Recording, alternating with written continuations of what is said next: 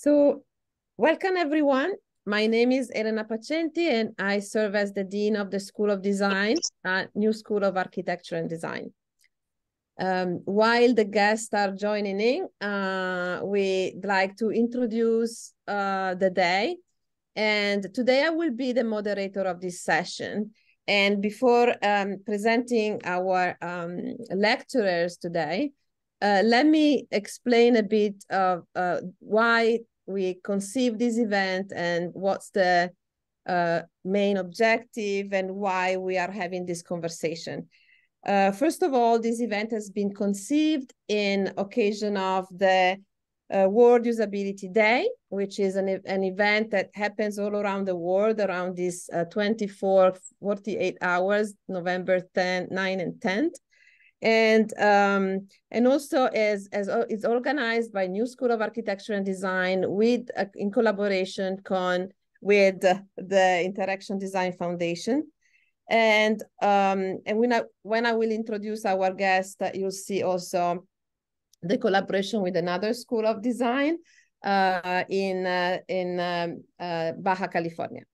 Um, we this this conversation is part of a series of lectures and discussions that new school has initiated uh, in particular on uh, trying to um, discuss analyze the role of uh, artificial intelligence and in particular generative ai and open ai solutions into the uh, field of uh, design both in terms of how it impacts design methodologies and processes.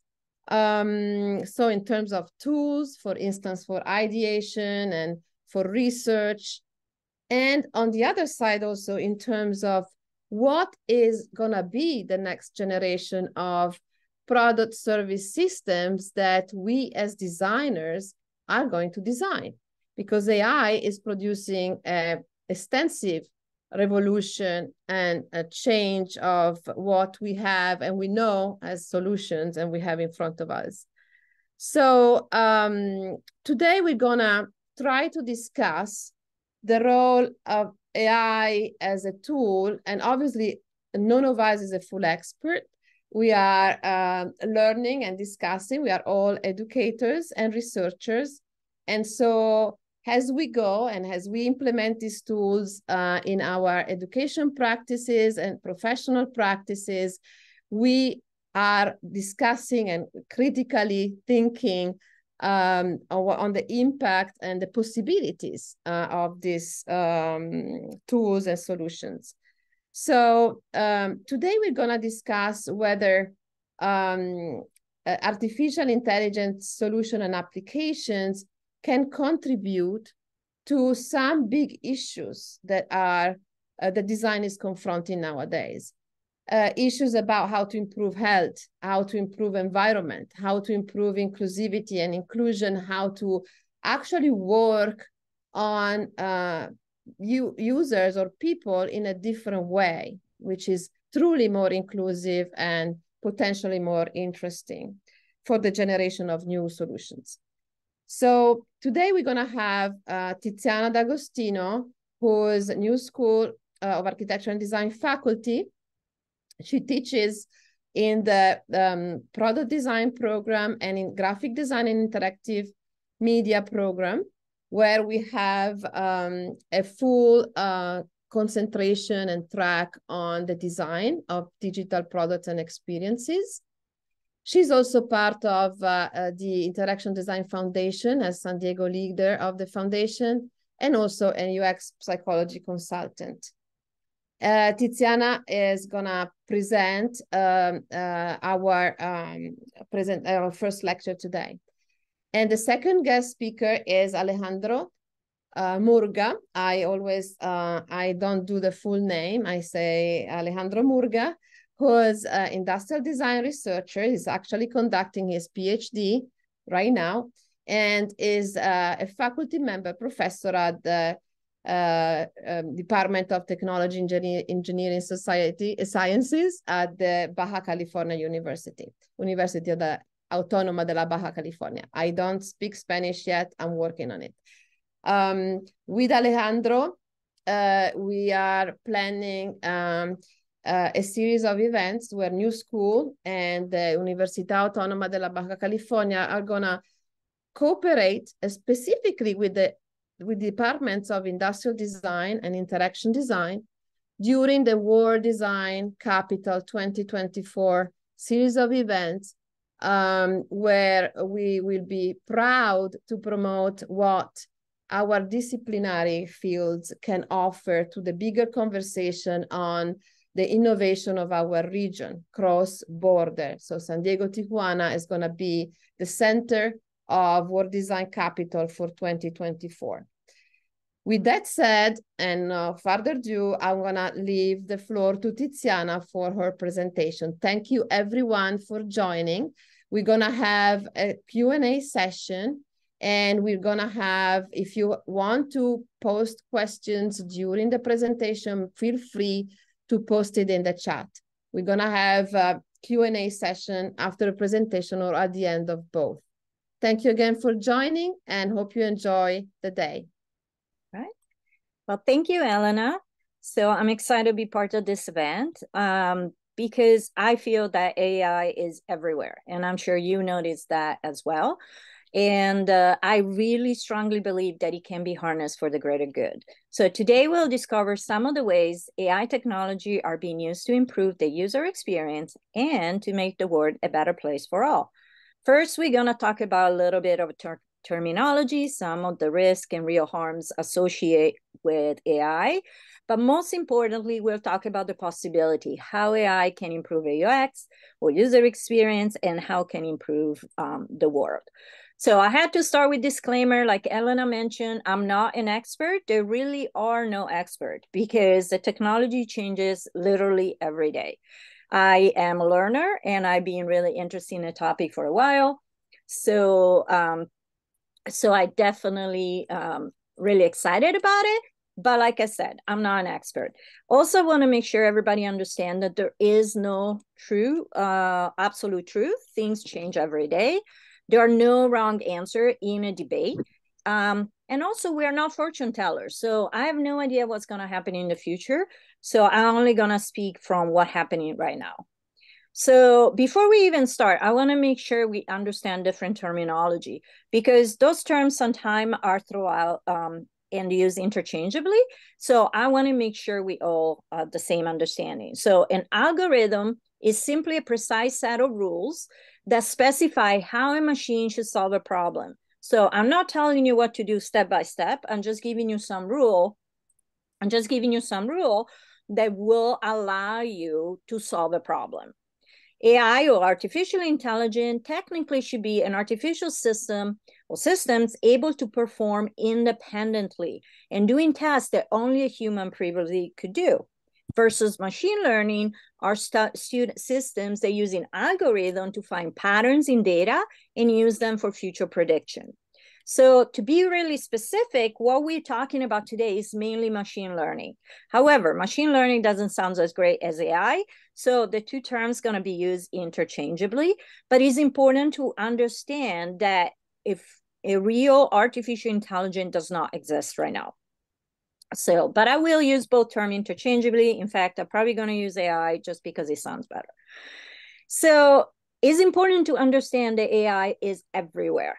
And you've been interacting with AI or machine learning for a very, very long time, even if you may not have noticed. So if you ever receive a recommendation from Amazon or Netflix or any company, you have been interacting with machine learning and AI. But obviously in the past couple of years uh, the development has been accelerating and is improving more and more and more. So excuse me. That means that more services and products will soon become not just smart but also intelligent at least more intelligent than what they are right now.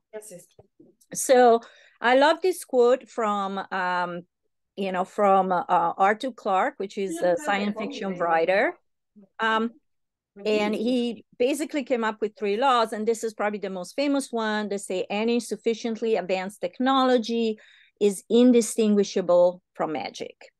And this is really what happening right now because as you every time you go and look at things related to AI, you usually see the little sparkling star, almost like a symbol of magic, right? Disney magic. Uh, and this is because really AI right now, it almost looks like magic. It's not, but it almost looks like magic. But we have to understand that AI is not as intelligent yet. First of all, is very biased because he amplify and perpetuate the biases found in his training data set. So we all have biases, some we're conscious of, some we're not. And obviously those biases get transferred in AI system. He also hallucinate. That means he will generate false information and create non-existing sources. This sounds very real, real, but they're not and is now able to reason. This is very, very important because it's easy to fool us that AI can actually make decision and decision making and reasoning, but it's really not because it's simply a complex pattern recognition and prediction machine. So let's see an example of each of them. So this was an exercise I did in October so only a couple weeks ago and i asked um, uh, stable diffusion which is the ai engine behind freepik ai image generator to give me an example of an image of a doctor. And sure enough it came up with four white guy with a beard uh, middle age or up. Then i asked to give me an image of a nurse. And sure enough we get a woman mainly a white woman really pretty and this is the default idea that stable diffusion has about nurses. So where are all the other people, the people of color? Well, never fear. As soon as I ask for a domestic worker, that's where stable diffusion decide to bring me some people of color. So obviously those are huge biases. Obviously, this is something needs to be worked on, and this is something needs to be fought. But just like AI right now spit out a bunch of biases can also be trained to fight biases. If part of the data set is information about typical biases, then we can build an engine to fight them. Another example is hallucination. This is, um, it was actually really fun. I asked ChatGPT to give me some resources about the future of design and design for a better future. And out of four resources, two of them don't exist. And they look very realistic, right? A TED talk called Designing for a Better Future by Niti Bhan. That sounds realistic. Sure enough, it doesn't exist. And when I told uh, ChatGPT that those resource the resources don't exist, ChatGPT was kind of defensive. So he apologized by said that, well, the resources should exist in some form, at least up to September 2021, when I was last trained, which is also another issue. Uh, the ChatGPT uh, 3.5, which is the free version that most people use, uh, stops at, I believe, April 2022 now, but is not up to date. The newer version are more up to date, but not the one that most people use uh, for free. And finally, this is probably even more concerning, is the fact that AI do not reason, don't think. This is uh, My AI, which is an AI companion that is available um, in Snapchat to all users, can be customized and created almost like a video game character. And uh, the scary part of this is that it sounds exactly like a real person. But because it's not a real person, it can give you really, really bad advice. In one example, some technologists did a, um, a trial in March or April in which the AI was giving advice to this fictional kid uh, on how to cover bruises when the CPS was coming uh, so they could hide the fact that their parents were beating them which of course, this is absolutely outrageous. The example I have here is much more benign. I did it with my son's chat GP3, but still it shows you that there is no reasoning. Uh, I pretended to be a 16 year old boy dating a 23 year old girl and uh, concerned about the age gap. And besides just a brief consideration about legal implication, um, the content was like, well, at the end, it's up to you if, to decide what feels right which of course is definitely an issue because it's not possible. You shouldn't be dating a 16 year old if you're 23. And there are a few other challenges because, first of all, is developed commercially. The really even OpenAI is really not open source. Uh, it is strongly funded by Microsoft. Also, um, it is supercharging misinformation. We are seeing a lot of this during the um, for the Middle Eastern uh, conflict that's going on right now. A lot of misinformation, a lot of fake images. In fact, Adobe just got caught selling AI generated images of the conflict, um, which is, of course, is absolutely unethical. And uh, it can also increase injustice and inequality facial recognition software that many police departments are using, at least in the United States, um, are very flawed to the point a few months ago, a eight months, um, eight months pregnant woman was arrested incorrectly due to facial recognition as a suspect in a burglary. And I don't know you, but when I was eight months pregnant, the last thing I want to do is go rob a convenience store. And finally, it can make workplace, diversity much harder because if we're using AI to find the best candidate, the problem is it will reinforce the stereotype based on historical data. So diversity has never been a you know a strong suit on most company, at least in the United States. And so if you look at historical data, it will constantly reinforce the fact that good worker looks in a specific way or of a specific ethnicity or gender. However, I want to talk about the good stuff. I don't only want to worry about the harms because a lot of people are talking about it, but I want to focus on the positive. So AI can be leveraged for good for many, many, many reasons. And what's really important and what is really crucial to remember is that AI is just a tool, is not intelligent on its own, is just a tool and is in its infancy. That means we can and should influence its development as designer uh, and curb its abuses and biases. So we need human skill to rein in abuses and to give some ethical training to our AI. We need better user experience for the tool. ChatGPT is not really the best user experience if you ever try it. We need designers to build future product that are going to be powered by AI. And we need to embrace its potential and co- to collaborate to create a world where we all wanted to live in. So how can we do that? How can we leverage um, AI and design, for example? Well, AI can be a wonderful companion and help us speed up the work when we're creating design. It can take over tedious tasks, leaving more space for creative endeavor. For example, you can we can use AI to create automatically um, description for our images for accessibility purpose, which is really not the most exciting thing to do, but is absolutely important. It can also help us um, give us new insights because it can analyze a large set of data and find new patterns that human may miss. That's what computers are really good at, to find patterns in a huge amount of data. And this is what humans are really bad at. They can also help us get better user experience because AI can help us simplify and optimize, for example, language for a better understanding. It generate or generate better question for usability testing.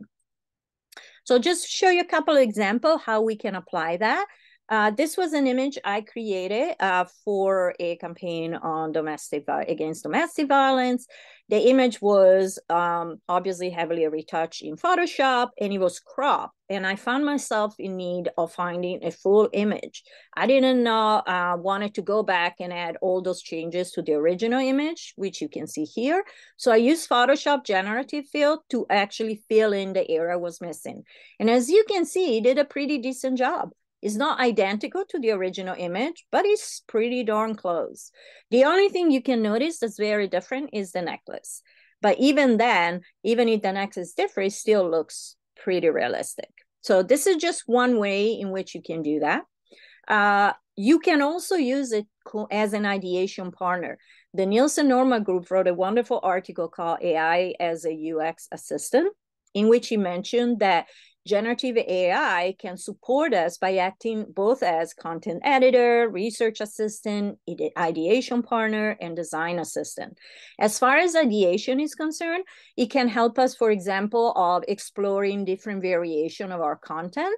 Um, even more important, it will be able to uh, ideate potential scenario and solution, and even maybe estimate what could be unintended consequences of our design. It can help us role play so that we can ask it to be a stakeholder or a specific persona.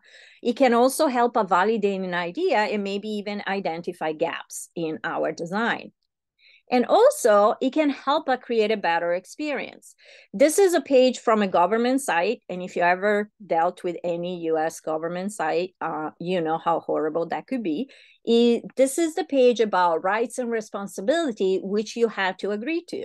Those are 23 bullet points written in a very, very small type, one after the other. And I can promise you, nobody will ever read that, but you do have to agree to them. So how can we use um, AI to make it better? Well, I went to ChatGPT and I copy all that content and I say, please simplify this for a 10 year old. Don't skip anything. And so what ChatGPT did took all this really complex text and simplify it in a very simple language. Now, I understand that there are legal requirements for certain texts, but what about using what ChatGPT created as a headline? So that it gives you kind of really brief summary of all these legalese so that whoever's reading it can in immediately understand what each of this paragraph actually say. And by asking to put a check mark next to it, it will guarantee or at least improve the chances of me at the very least reading the first word or the first couple words. So obviously it will give me a much better experience and a better compliance as well. Even more exciting is all the thing that AI can do for solving global problems.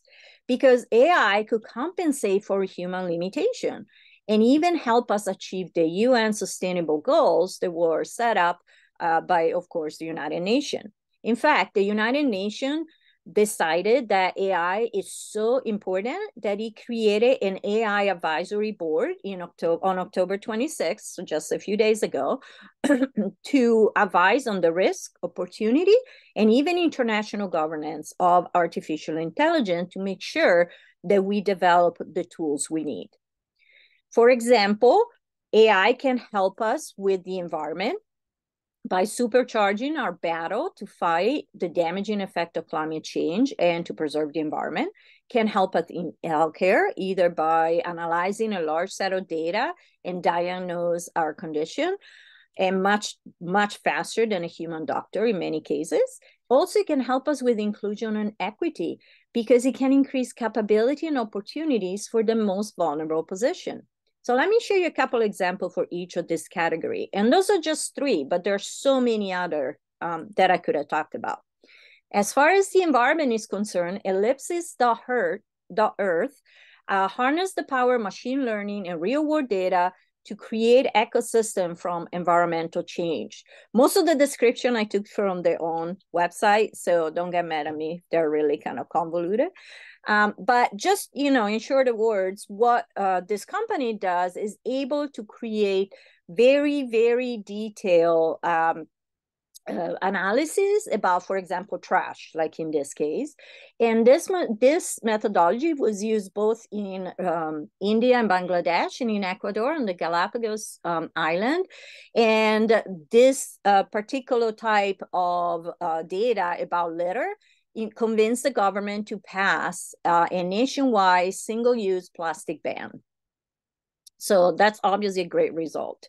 Another company is working with AI to improve the environment is TreeSwift that makes forests easier to manage by providing actionable, reliable, and trustworthy data on every tree so that the manager of the forest can actually make more informed decisions. This is another project um, I have consulted with uh, that's actually being developed here in San Diego at the UCSD Supercomputer Center. The application is called BurnPro3D, still under development, but the goal is to model all sort of possible conditions so that fire manager are going to be able to create burn plans uh, to have uh, responsible burning so that you can lighten up the fuels and avoid damaging wildfire. And one more for the environment uh, is powered by IBM. IBM is a whole section of AI for social group, uh, good. And I really love how they're talking about augmented intelligence instead of artificial intelligence. And augmented intelligence, honestly, is a much better um, description what it does. So it's not taking over for humans, but augment the human intelligence. Um, and this is one of the many projects they're working on. And this helps addressing climate risk in Africa with AI and a hybrid cloud. So um, that will help with the the damaging effect of climate change. As far as healthcare is concerned, there are lots and lots of projects. I really love this one because even though it is still in the testing phases and prototype phase, I am a designer heart and I couldn't resist such beautiful design. Uh, but the Smart A Kit is not just beautiful. What it is, is a small box that will contain four different tools that will help patients or people in general to triage their condition themselves. So it could be available in any public space, just like the, the defibrillator are available right now. And it would allow you to check your eyes, your skin for cancer, or your lung capacity, as well as your heartbeat. Um, and that could be obviously deployed everywhere. So it would be a really, really awesome way to democratize um, healthcare. Uh, another uh, use case that's very much used right now is diagnostic, more advanced diagnostic. So, for example, uh, there is a AI uh, system called CADU, C-A-D-U. Uh, they use AI to support doctors in identifying can- cancer tissue in um, esophagus. So, is looking for esophageal cancer. One other program was able to successfully detect breast cancer in a woman four years before it was um, it actually developed to a level where a human wouldn't be able to detect it. And my favorite example um, is actually a story of a family who has a three-year-old experienced a lot of pain, but doctor had no answer to why. Um, to why that was it. They saw 17 different specialists, nobody could find an answer. And ChatGPT was actually able to come up with the correct diagnosis once her mom, his mother, was able to enter all the different symptoms and ChatGPT find the right diagnosis. This is amazing. Not that we all should use ChatGPT to diagnose our condition, but again, we're talking about augmented intelligence. This is really, really nice. Um, two other programs, as far as healthcare uh, is concerned, they're using AI. One is still um, supported by IBM, and the IBM research uh, created the first machine learning model to predict which patient would be more likely to get addicted. Um, to, for example, opioids. Another really interesting use of this technology is also something called uh, a discovery engine called the Benevolent Platform that allow you to discover biomedical data that can be used in generating new medication. And the future of healthcare, if we really want to be effective, it really would be to create specialized drugs that personalize to your own genome and to your own physical conditions. Um, and my last topic is inclusion and equity. Again, there's a lot of different options out there, but I really enjoyed this one. Um, it's called ElliQ, and is an actual AI companion uh, designed to support and accompany, especially older adults, but I can see being applied to a lot of other um, group of people to live independently. Uh, this companion not only keeps them company and entertain them, but also have a variety of different um, application for uh, keeping uh, people healthier and safer when living by themselves. This is another program that's available right now. It's called Textio. It's much simpler, but it can do a huge difference with uh, in inclusion and equity. This particular application allow you to enter your text and watch it, uh, read it, and analyze to see if you're using any kind of, exclusive languages or languages full of biases. And it will highlight it and give you suggestion on how to make it um, biases free and in, using inclusive language. And finally, this is an app uh, called Be My Eyes. This has actually been around for a long time. is an app uh, that connect people with vision disability to uh, people that can see and uh, they are usually volunteer and then when you, they need uh, the person with disability needs to have someone either read a sign or describe a scene they will contact one of those volunteer that will describe for them but now be my eyes is actually being powered by ai and therefore is going to be a lot more available because you don't have to rely on a volunteer to be there to explain what you've seen ai would actually do the work for you so those are just a few of the cases uh, in which you can use that you can use AI for good. But I encourage you to research it because there's so many that really make you optimistic about the future. And I want to close with this quote from Anne Maria Grisogono, who wrote a great uh, paper on using leveraging AI for good. Um, and I think you really kind of sum up the state of things where we are right now. So we are rushing into a future that we can barely imagine, but we need to look ahead with as much clarity as we can master and embrace the present opportunity we have to shape the trajectory and use it to face the risk. The window is not very big. This is the time in which we can still influence how AI is going to be developed before it's going to run off and be out of our hands. So that's what I encourage all of you. Just get informed, look at the amazing things that are being done right now, and let's all work together to use AI for creating a better future. Thank you. Thank you, Tiziana. Mm-hmm. Wonderful presentation. And um, I see in the audience many uh, professional people who are studying AI as well, and uh, is extremely uh, extremely difficult to um, to provide a portrait of what's going on. The, the level of complexity, as you all see, is is uh, very very high, and uh, the even the, the collection of the, the, the case studies and trying to understand what the implication possible implications are is extremely complex which reflect which put us to reflect on our role as designers because um, these the, when revolutions of this entity happened designers are called in into question to because we contribute to the design of this. So no matter what our role as designer is to mediate from what is technologically possible and what makes sense for people and environment and society.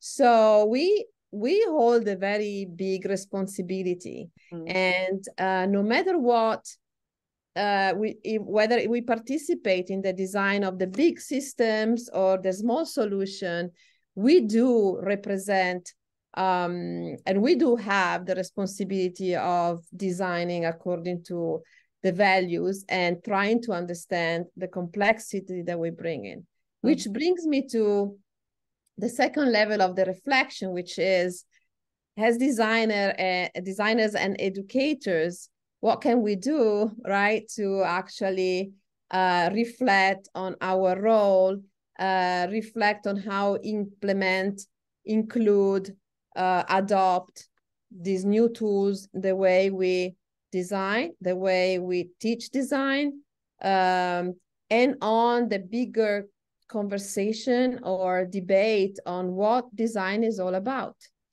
And um, with that said, I, I leave the floor to Alejandro for um, his presentation, which is much more focused on the discipline of um, uh, design, both industrial and interaction. As I said at the very beginning, we do believe that our field uh, includes both the design of artifacts that physical and digital and as as long as when we go into the digital obviously we embrace complex service product service systems so uh, alejandro has experience on uh, on uh, on these aspects and uh, is gonna contribute with some thoughts and some experiments he's doing in class right now about this Thank you.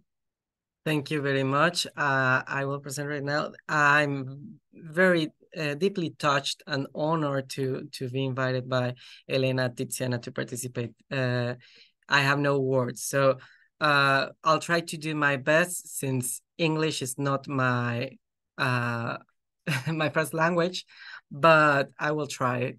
So what what I'm about to do is to to talk about uh, interaction in design, uh, mediated by technology, and how can we appropriate the the interaction design field to make subversive interactions, uh, subversive relationships, human relations, because design is about that. You know, um, design has a social dimension. It always had this social dimension it has the mindset of the project, project as visualizing future, taking the present and reimagining what it could be into the future.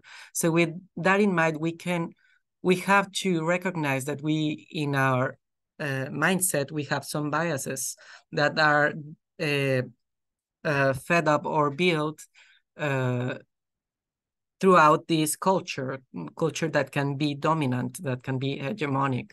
So in that way, I I will talk a, uh, a little bit about myself. I'm an architect, but my master's degree is in industrial design, and I right now I'm doing a PhD at Palermo University in Argentina, trying to figure out how the role of the representation, human representation, takes part in the design process. So, with that in mind, I want to present a gene genealogy of the notion of human in design. What do we mean with human? What do we mean with human-centered design? What is at, at the center of design, and how we theorize it. So Cooley in the in 1989 uh, brought out the social aspects, the dignity, unions, and rights within the technological view of work.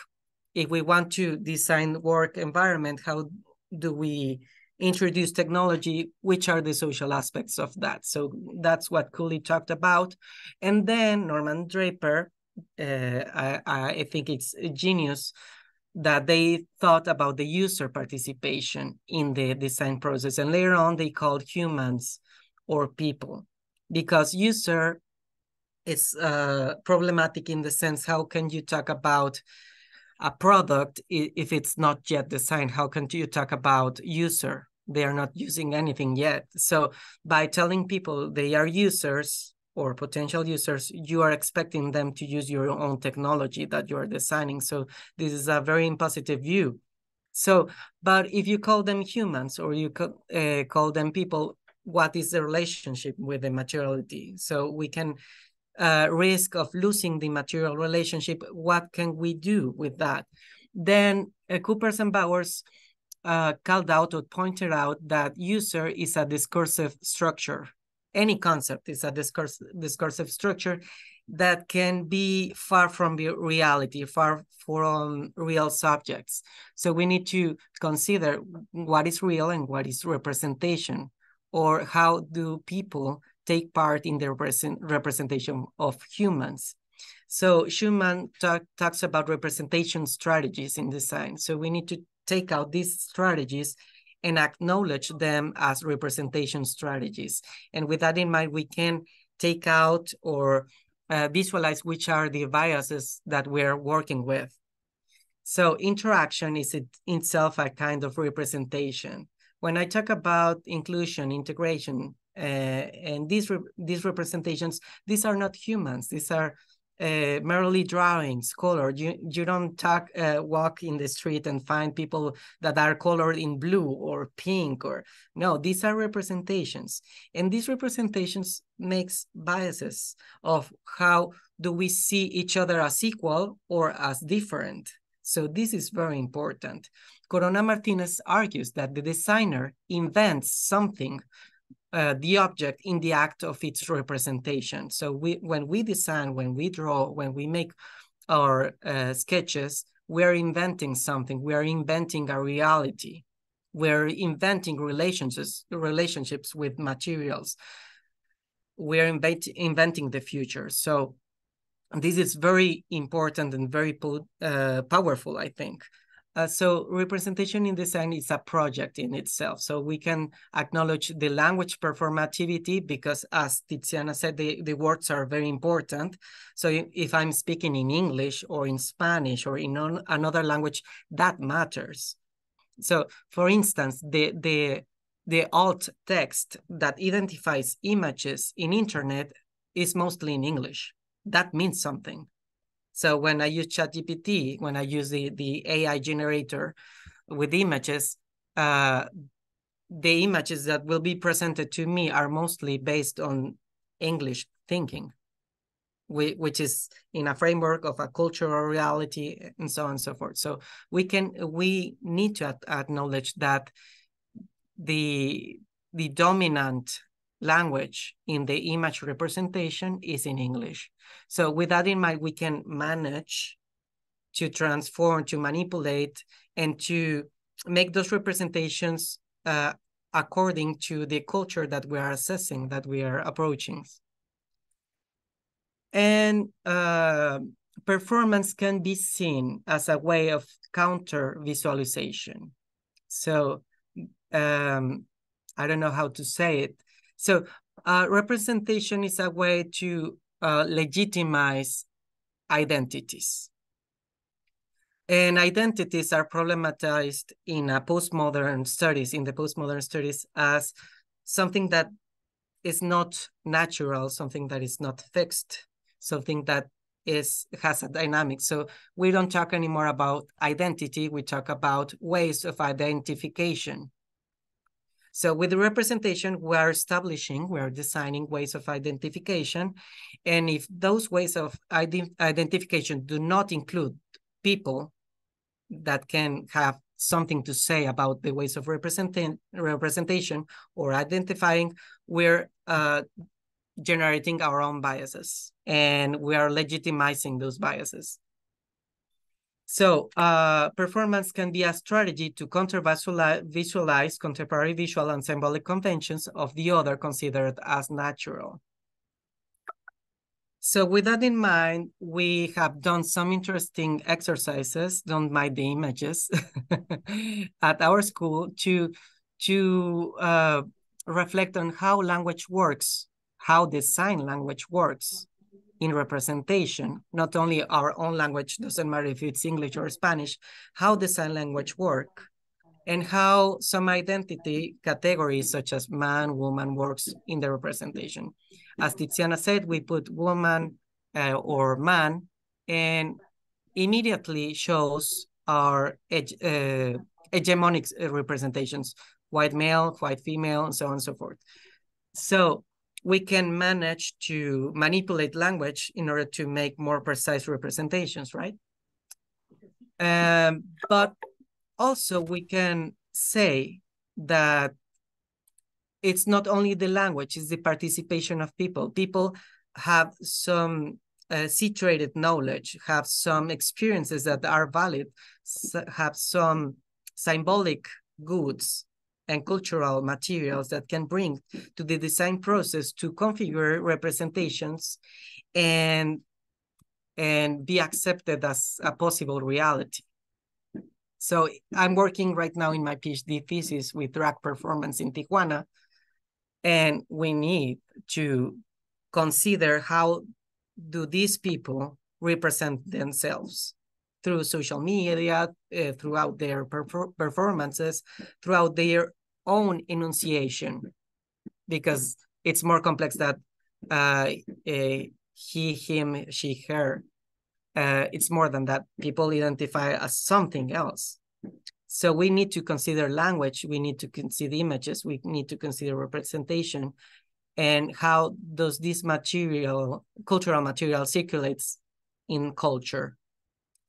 And I, I have in my PhD thesis uh, done some exercises with ChatGPT. How can you, with ChatGPT, how can you design a drag persona using Mexican cultural knowledge? And I found out that maybe it uses drag language that is common in United States, but it's often in English. So it, it fails to acknowledge which are the words uh, that LGBTQ community in Mexico and different parts of Mexico as well use and circulate in the culture. So uh, it it makes a note. Remember that these are examples and examples of, of the jargon and the expressions that circulate in the LGBTQ community, but the LGBTQ community is diverse and it can vary from people to people. So uh, with that in mind, we need to consider real people.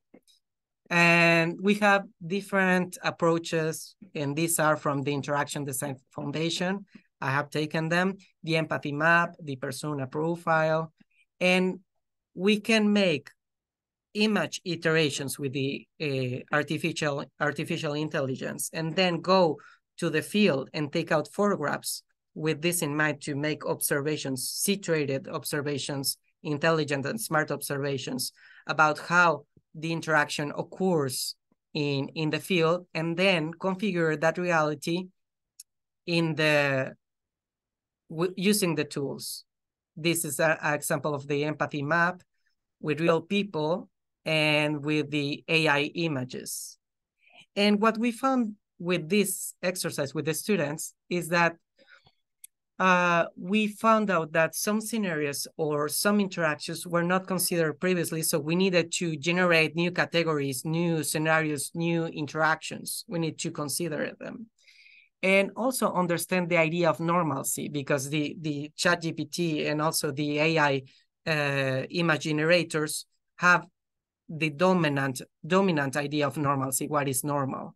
But these specialized groups, these uh, groups made of real people, have certain ideas of what is normal for them. So we need to consider that and to to to be a part of of those biases that the the the AI provide us. And with that in mind, to adjust the user persona and make it more situated, more, more contextualized. So this approach pretends to find out which are the cultural materials and symbolic goods that the agents manipulate and provide to consider in the design process. This helps to define the technological and hedonistic terms in which humans interact. So for me, uh, this has been a recent research, uh, as you can see. For me, this has been very powerful because the I think the artificial intelligence is not is not a risk it's why uh, it helps us open our eyes of our own minds, what happens in within our own minds, and how we take for granted some stereotypes, so uh, some representations of the human beings and uh, of us as well. So uh, I think it's a very exciting moment to talk about how we represent human people in the design process and the AI help us to make it obvious, to make it uh, uh, manageable in order to, to talk about. So previous previously, we couldn't take this discussion and make it obvious because we didn't uh, know how to uh, make a, a, a, a translation from text to image before we did that ourselves. So with the, the AI, we can make it that happen and reflect about our own uh, stereotypes and prejudice. And that's it. Thank you very much. I hope I, I, I could reach to the point of reflection. Thank you, Alejandro. I think you did. And thank you for the deep uh, thoughts and um, to, to bring the conversation back to uh, one of the main the fun, foundations of our work, which is really reflecting on on this um, on how we ourselves represent um, uh, humans and what's the, the meaning of that foundative concept. And in in even though these two um, presentation were uh, atta attacking the um, ample, ample, wide discussion from very different points of view. What is very um, impressive for me is that we are moving in a very constructive way into understanding this aspect that you just mentioned, Alejandro, which is really uh, using the, the, the words that Tiziana uh, introduced as an augmented way of uh, re doing the things that um, we we have done to to think about product service systems that exist already and can be improved or uh, thinking about the next generation of uh, of systems, but also really using it to rethink the methodologies themselves because yes these tools can help uh, us um, breaking some of the prejudices the stereotypes that we apply even when we think that we are designing and representing our the people and our issues in a correct way. So thank you very much. This was uh, really uh, a lot and profound. And I would now um, open up the floor for the conversation. Uh, one thing I wanted to ask uh, you, Alejandro, actually, uh, since I know a little bit uh, your work and we are um, organizing these meetings between our classes in the product design programs, etc., is um, the, the, the example of uh, your uh, design with your students on the uh, kids with um, um, autism and if how the the uh, let's say uh, personas generated uh, through the AI and the actual observations, if uh, how that brought to some uh, new insights, if any. Yes, thank you, thank you. And I would like to start, Elena, with uh, with some reflection. I think what we need to reflect on is that it doesn't matter what we design. No, it doesn't matter what. The, that's not the question. The question is how. No, because tomorrow there will be new technologies. Tomorrow there will be new needs of new objects. So how is is the the problem within the design field? And uh, I think it's very interesting because it it, it uh, makes us to reflect on a philosophical way and also, I would like to talk about the, these exercises with my students uh, of industrial design. They are designing uh, interactive devices for sensorial places, uh, sensorial rooms for autistic people within uh, schools, uh, specialized schools for for uh, neurodiversity and and so on. So um, I apply this exercise with my, my students to make them see what they are missing out in their own observations. Because also if you if you talk about autistic people uh, maybe they are not able to communicate their own ideas of self-representation. But they are they are uh, surrounded by their parents by their teachers by their friends by the the support group that can uh, input something interesting in their present representations. And also, uh, it's not just uh, talking with them and asking them, how do you self-represent? It's doing this cognitive walkthrough about which are my biases, how do you use technology to, to represent or not those biases? And with that in mind, go to the field and observe because see is not the same to observe. Observe is to acknowledge in which position are you taking this visual information. So if you don't do the exercise before you you go to field, you don't know what to see. You don't know how to process those that information.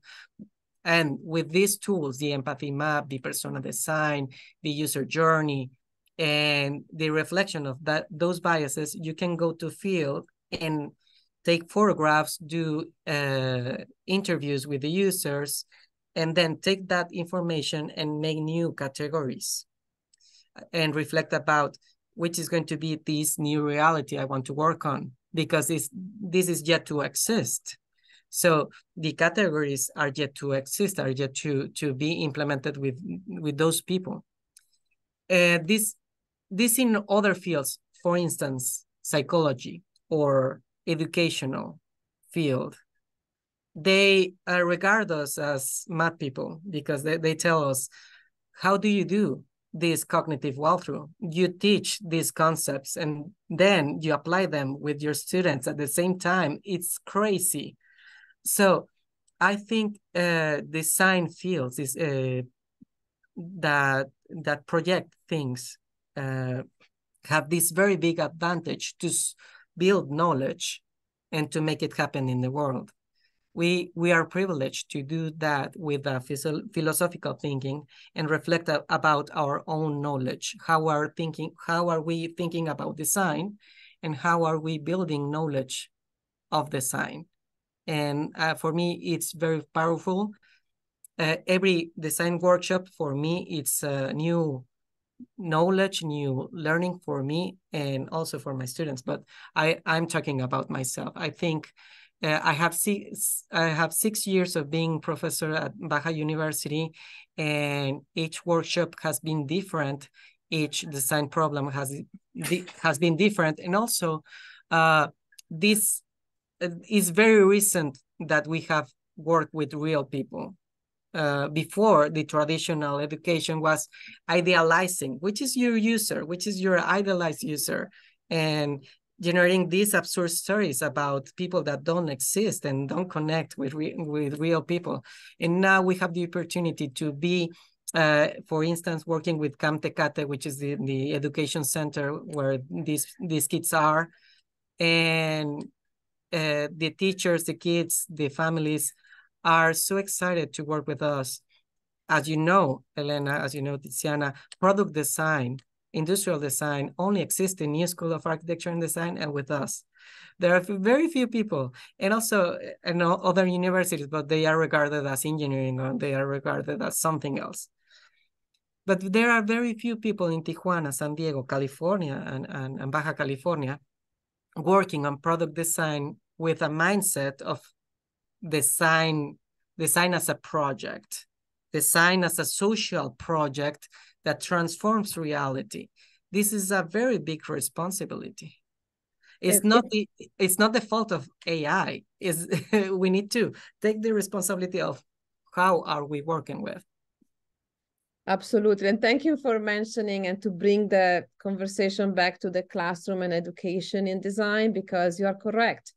Um, whether design is considered is very large term uh, the, the, the, the, the discipline rooted into design of uh, products uh, and system. Call it industrial design call it product design call it obviously i'm from italy as is tiziana. She has studied in the us i fully studied in italy polytechnic university of milan and domus academy later and we do have a very strong uh, disciplinary foundation and a culture that come from a different world of design. It's just called progetto, progettare, which is from Latin proiacere, which means project.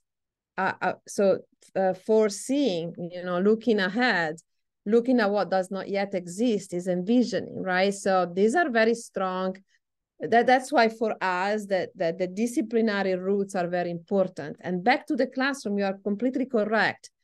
Um, in in design programs of this kind you have to provide the opportunity to the students to use to work with the users to work with real cases to work with the community to do this uh, continuous exercising on the methodologies and how and, and iterate as much as is possible in a simulating situation like a classroom, right? With the time, with the constraints. Um, and that's where I think our responsibility, even with the adoption of these new tools, is to really embrace it, uh, them ahead of time and experiment and expose the students to them to them um, as part of their ability, a toolkit, first of all, and ability to use them to further um, exploit the, the, the, the, skills and, and knowledge and capabilities. Um, Tiziana, I don't know if if uh, the audience have questions. I'm not checking. I haven't checked the. Um, thank you, Melissa, for your link. Um, I haven't checked the chat uh, after that. So um, if there are questions, please uh, raise your hand or put it in the in the chat. Meanwhile, I'd like to to go back to go back to Tiziana and mm -hmm. on this uh, bigger picture yeah. of uh, the the ethical conversation around AI and the new applications and etc. Um, what do you see as the um, reaction of the government or the um, the regulation side of uh, the picture uh, talking about uh, you know ethical implication mm -hmm. of this? Well, I think yeah, it's a great question because nobody has the right answer.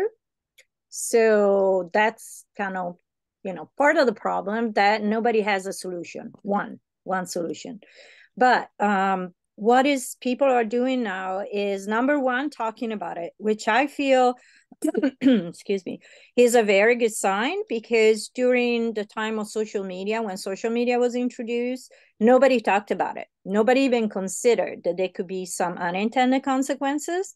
Um, and we all know that there were so I feel that it is definitely a very good sign that people are talking about it as AI is getting developed. And right now, um, the latest uh, updates right now is that um, Europe launched the something called the UI Act, uh, the AI Act, as a proposal in 2021. So it's always been very much on the forefront. Um, so has been so far passed on in the parliament is not obviously still a working document that it will kind of establish some rules of conduct around developing AI. But even more exciting that just last week, um, the G7 meeting, um, many countries, the G7 plus the European community, agreed on an 11 point code of conduct um, around UI. And one thing I was very excited about it is probably um, the point, I think eight or nine, I don't remember which one. Uh, but basically, they were saying that the main focus of AI development it should be to solve problems and improve the world. So, and at the same time, in fact, I think pro- maybe the exact same day, um, Biden in United States uh, released an executive order on the same topic of AI development is a lot more complex. Uh, but he's pretty much highlighting the same things, as in there should be transparency, there should be cooperation between all countries as far as sharing information, um, and uh, obviously creating some kind of guardrails so that we can stop the possible harms in the technology as well as you know privacy and all those other ethical concerns now of course those are just declaration right now. There is no like laws that are being set up yet. Uh, and there's plenty people complaining of course.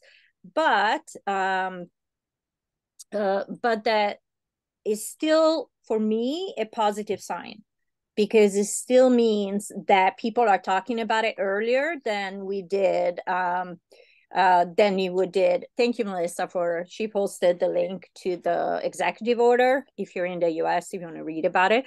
Um, and uh, I think it's a great thing because nobody really had the answer, but it's important to understand. And one of the biggest problem with AI right now is that it is a black box, even for people that develop the AI. So people that are developing all those AI technology, they know what they put in, they know what gets out, but they still can't tell how the machine, the system, the algorithm came up with the answer. That's still a black box. And this is what the big problem is. There is not enough transparency, also because right now the way those systems are built don't have transparency. It's almost you know when you're in school you have to show your work you know when you're learning math um, it's kind of the same problem here you get the problem you get the solution but you don't know how it reached to that solution And that's definitely a problem because if we don't know how that happens, we can't stop the negative part. And the only and the other thing too is I feel there should be more like actual regulation because the smarter quote unquote those um, machines becomes, the more people will trust them. As in like, oh, they're just like human, they're perfect, and they will like stop doubting what they find. I mean, already is impossible to tell if an image is generated by AI or not. Um, I mean, there's some images you can tell, but I seriously, I did a test. I took a test and I couldn't tell which one was a real one and which one was AI. So, and I deal with images all day. So that's a problem. And is already showing as a huge problem everywhere. And next year is going to be a big election year in US. That's going to definitely be a big problem. But on the other hand, AI possibly can help that way. And uh, if there are good rules. So you can use AI to spot misinformation instead of distribute misinformation. It's just a question that you have to train it to that. And mm-hmm. in my opinion, without any kind of government oversight, that's not going to happen because the company developing them are for profit. And so they're releasing things regardless because it's like a big race now. Is it Google gonna come up with the next one, or is gonna be OpenAI, or is gonna be Meta? And so there is no this, you know, on that side, you can't trust those company to do the best that you know they can do and you can see the history. You don't need a prediction machine to see that in the past they didn't really develop with the best interest of people in mind. Very good. Thank you. So it brings back to the to the to the role of you know design and designers on the bigger picture. And obviously is in no one's power to influence the the the development at the uh, political and bigger economic uh, level. So the conversation goes back on as designers, as practitioners, and as educators, and what actually can we do to we can do to act to um, embrace uh, the the challenges and identify the opportunities and somehow uh, introduce uh, acceptable level of this complexity in every project we do. So how do we deal with this complexity in the projects we do? And um, so both working with students and in practice it's a matter of uh, really uh, in my opinion, goes back to the amount of research that we have to execute and diligently, and uh, to be always informed. And that's why I totally agree with you, Tiziana. It's very positive to see that the conversation started because other very invisible revolution, technological revolution happened under our eyes without the necessary amount of uh, conversation and research and, and due diligence. So, um, how do you, Tiziana, uh, expose, for instance, the student, designer students to these issues? Well, obviously, depending on which class it is, but um, ethic is always the foundation. And honestly my classes ethic is always a foundation regardless of which class it is because i think is important.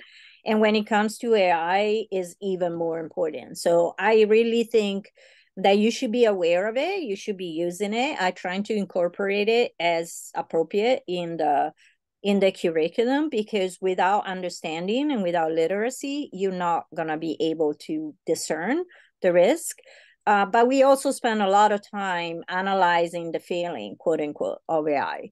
So it's never like a one-sided conversation.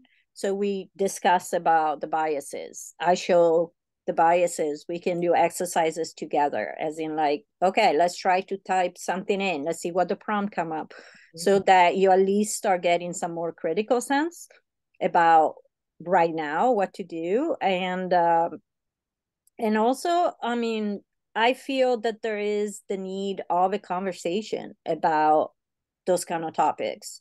So um, I was actually really kind of saddened to read while I was uh, researching all the text of the executive order or the you know the G7 agreement. Um, there were a lot of articles in like, oh, Biden executive order gonna be embed the woke, what is it, the woke policy into AI, which is a gross misunderstanding of what we're trying to do here. Just putting guardrail doesn't mean that you know you're gonna be stopping innovation or anything like that, or you know install some kind of political. Igual, a veces no creo que todo se funcione a, a hacer la pieza. Mm-hmm. Um, Is this AI? Is someone? Ah, Así lo um, dicen, ¿ves? okay, let me see. There is I can mute whoever is not muted. oh, I think everyone is. So Oh, okay, now everybody's. This uh, is uh, that's the AI ghost. that could be right? Those kind of things happen.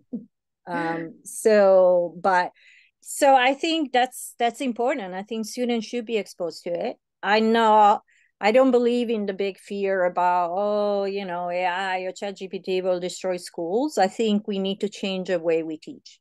And i think is about time because i've never been a big fan of like multiple choice or like essay i think conversation Quizzes. Yeah.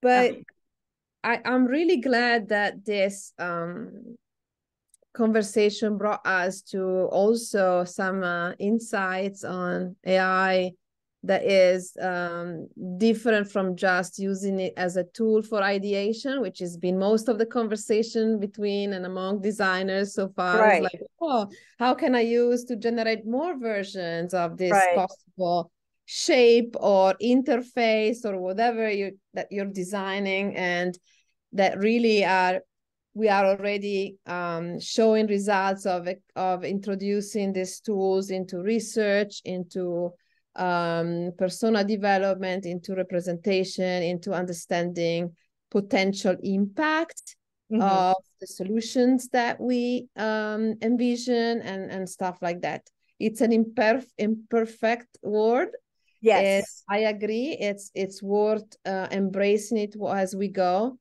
and so I hope that this conversation um, brought some uh, uh, new insight in this direction, or at least invite people to be more um, active or proactively discussing within the discipline and outside in the world as uh, the result of what's happening in this whole new generation of uh, the next generation of product services.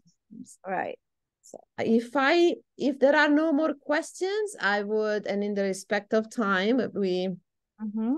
uh, foreseen we are it's 120 um if there aren't questions or comments um we will adjourn. Uh is there any participants who want to say anything?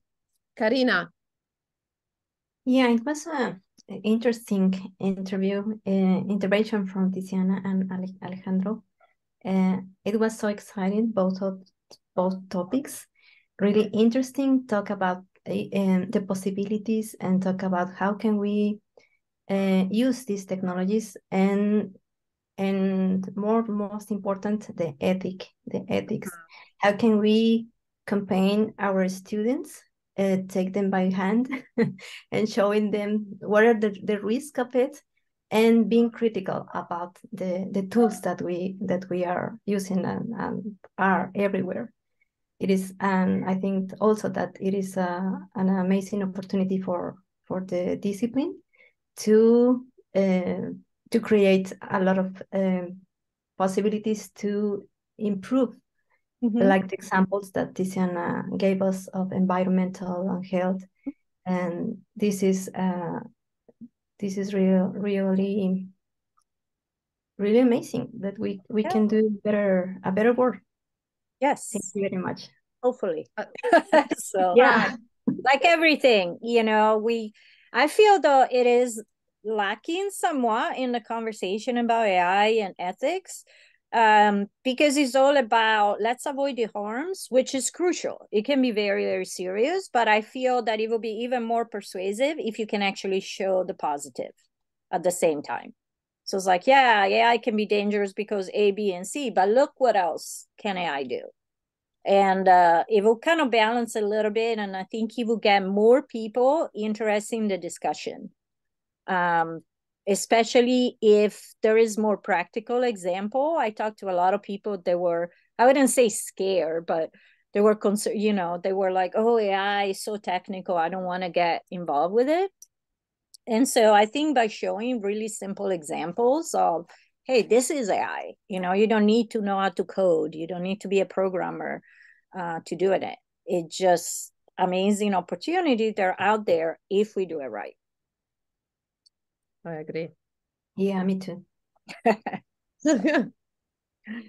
All right. So Thank you to, to Karina. I would like to say that Karina is a professor within our faculty. So uh, the um, to to to make these discussions happen and to to, to make them go with with our colleagues and students and the community in general, it's very pow powerful. I'm mm -hmm. so so happy to share with you today and to make these ideas, these reflections, not only be part of a PhD or, or an article that nobody's going to read.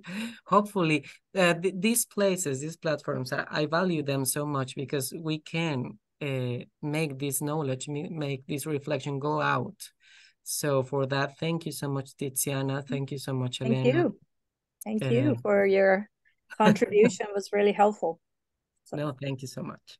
and I would say, so I would close with this. I think schools and uh, cultural institutions and educational institutions has the role have the role not only to teach our own students but to promote the conversation on different levels one is disciplinary and we will have more uh, forums for discussion um, and one is with respect to the to the general public and contribute to the conversation, try to make our insights visible and comprehensible for everyone, and try to contribute this way to the growth of uh, culture and, and awareness about possible uh, uh, opportunities and challenges of especially times challenge transformative time like this one. So I invite everyone to stay tuned because both New School of Architecture and Design and